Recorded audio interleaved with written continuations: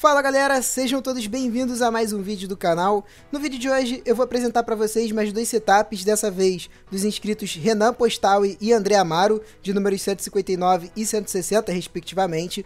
Mas antes de mostrar aí os setups, eu queria deixar meu agradecimento a todas as pessoas que participaram do último vídeo, seja com likes ou com os comentários. Foram muitas mensagens positivas que com certeza dão muita motivação para continuar e eu, eu, me sinto assim, galera, lisonjeado e honrado por ter todo esse carinho de vocês e espero retribuir aqui com um conteúdo bacana, beleza? Então, galera, muito obrigado e vamos aí a mais dois setups. Bom, pessoal, então vamos lá. É, primeiro eu vou mostrar para vocês algumas fotos do PC do Renan. Vocês já podem ver aí, né, a primeira foto que ele mandou da, da configuração. É, a configuração dele é bem top, ele tem um Core i7 7700K, está sendo refrigerado com o hidrocooler da Corsair H100, só que essa versão aqui é customizada, né, como vocês podem ver. A placa-mãe dele é o único ponto que eu acho fraco aqui na configuração, é uma Asus H110MD, é, de memória são 2 vezes 8 GB, a placa de vídeo é a GTX 1070, que em breve teremos testes aqui do canal. Não esse modelo aqui da EVGA, mas vamos saber aí o desempenho da GTX 1070. A fonte dele é uma XFX Black Edition de 750 watts. Não dá para ver nessa imagem, porque o gabinete dele tem aquela arquitetura com PSU cover. E, é, por falar nele, é um gabinete da Sharkun modelo TG5, ótimo gabinete. Ele fez até uma substituição em algumas imagens, vocês verão aí outro tipo de gabinete. Quanto a upgrades, vai ser realmente em relação à placa-mãe, que ele tem é bem de entrada, é, ficou até meio desequilibrada né, com esse processador, não que ele vá perder desempenho, mas é, ele não vai conseguir fazer overclock nele. Então eu sugeri aqui uma Z270 de entrada, que é da Gigabyte Gaming 3, que está aí na faixa de uns 800 reais. Isso vai acabar deixando também a configuração dele mais bonita, né? Porque a placa-mãe dele é bem pequena e sei lá, fica meio estranho esteticamente. Falando um pouco sobre cada periférico, o mouse dele é um Game Gears Zeus P1. Esse mouse é de uma marca que não é muito reconhecida aqui no Brasil, mas lá fora ela é bastante utilizada. Eu não encontrei o sensor em específico desse mouse, mas eu creio que seja um sensor muito top, um PMW 3360, algo desse tipo, porque em todos os reviews que eu li, a galera disse que ele não teve problemas nenhum quanto à aceleração e também inconsistência no rastreio, então creio que seja um sensor top de linha. O teclado do Renan é um G410 da Logitech, modelo Atlas Spectrum. Esse teclado é do padrão TKL, ele não tem as teclas numéricas, né? Por isso ele é um pouco mais compacto. É, vem com switches Homer D, que são próprios da Logitech, pelo menos eu nunca vi outra empresa com esse switch. E eles são muito bons também, tem um tempo de resposta excelente. Ele é um teclado que também tem software, a iluminação dele é bem completa, dá para você alterar via software. Então, realmente um, um excelente produto. O headset é um HyperX Cloud 2, que basicamente é um HyperX Cloud Core, só que é a versão um pouco mais antiga, porém é praticamente o mesmo headset, então vai ter uma qualidade excelente. Uh, ele tem também um suporte da marca SADS, né, o suporte para headset. São dois monitores da AOC, só que o principal é um monitor 144 Hz com 24 polegadas e o secundário é um padrãozão de 20 polegadas que ele utiliza ali na posição vertical.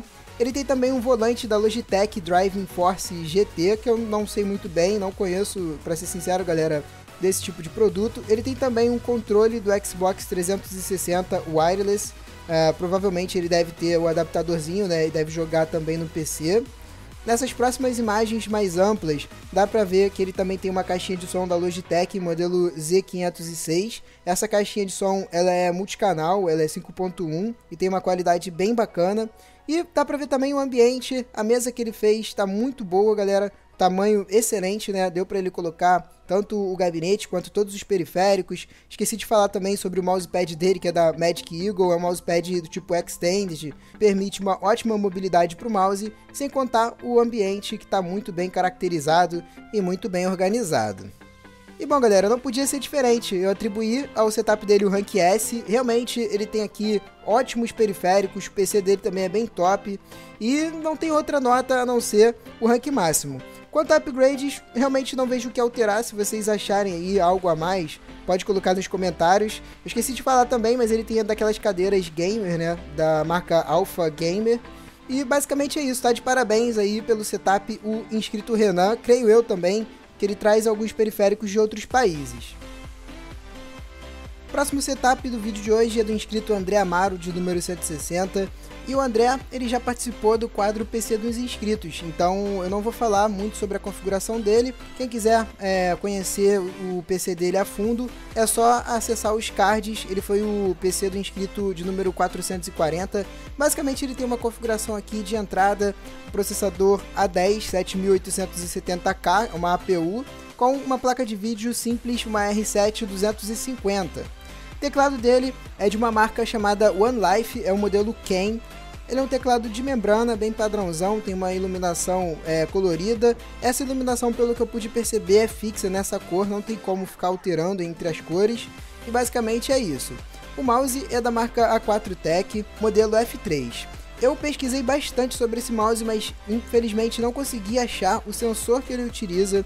A única coisa que eu encontrei foi que ele tem um recurso chamado V-Track, que é o tipo de sensor dele, que é um pouco diferente, né? Um sensor ótico que joga luz verticalmente. Isso faz é, ele ter um sensor bem pequeno, de 5 milímetros.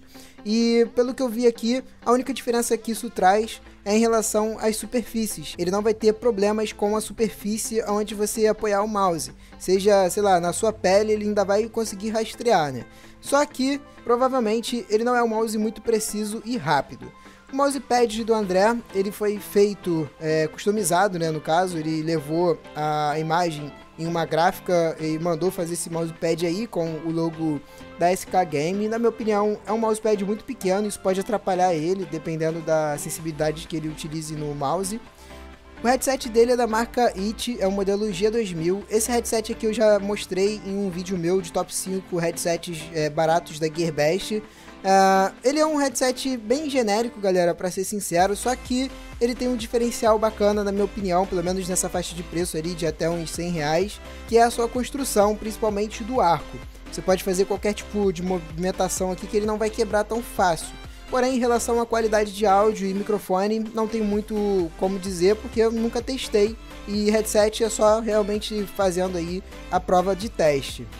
Além disso, o André também utiliza um volante da Logitech, dessa vez aqui o modelo Fórmula Force EX. Não sei qual é a diferença tá, entre os outros modelos, se alguém souber e quiser complementar, pode deixar aí nos comentários. Ah, e essa última imagem, uma visão mais ampla, né, pegando praticamente todo o, a, o cantinho gamer. Vocês podem ver que a mesa dele é bem espaçosa, porta todos os periféricos, ele utiliza dois monitores, todos dois são da marca LG, o principal é de 21,5 polegadas, é provavelmente Full HD, e o da esquerda, que é o secundário, é um monitor de 20 polegadas. Bom, galera, o setup do André, ele não tem periféricos tops de linha, ele pegou aqui alguns periféricos de entrada, né, a gente pode dizer. O teclado dele é um teclado bem básico, apesar de ter uma iluminaçãozinha, é, não deixa de ser um teclado de membrana padrão. O mouse dele para mim é uma grande interrogação e o PC também é um pouco mais de entrada. Por isso, eu atribuí ao setup o rank B. Quanto a upgrades, eu recomendo primeiro a troca do mouse, né? Como eu falei para vocês, não consegui identificar se ele realmente tem um sensor bacana. Por isso, eu coloquei aqui um Motospeed V30, se ele quiser estar tá importando é, de sites chineses. Ou então, se ele quiser uma precisão maior, mantendo também um bom custo-benefício, existe o Logitech G203. Além disso, o teclado também recomendei aqui um Ozone Strike Battle. Uh, o André não é daqui do Brasil, ele mora na Europa e a marca Ozone ela é bem reconhecida lá pela Europa. Esse teclado aqui em específico ele é do formato TKL e os switches são Cherry Max. Bom, pessoal, eu vou ficando por aqui com mais um vídeo do quadro Setup dos Inscritos. Espero que vocês tenham gostado. Gostou, deixe o seu like. Vamos tentar bater uma meta de sempre de 500 likes aqui nesses vídeos de Setup dos Inscritos. Se você gostou da ideia e quer participar, não saia ainda do vídeo que já já eu mostro os passos né, de como fazer para participar. No mais é isso, um grande abraço a todos, até o próximo vídeo, valeu e fui!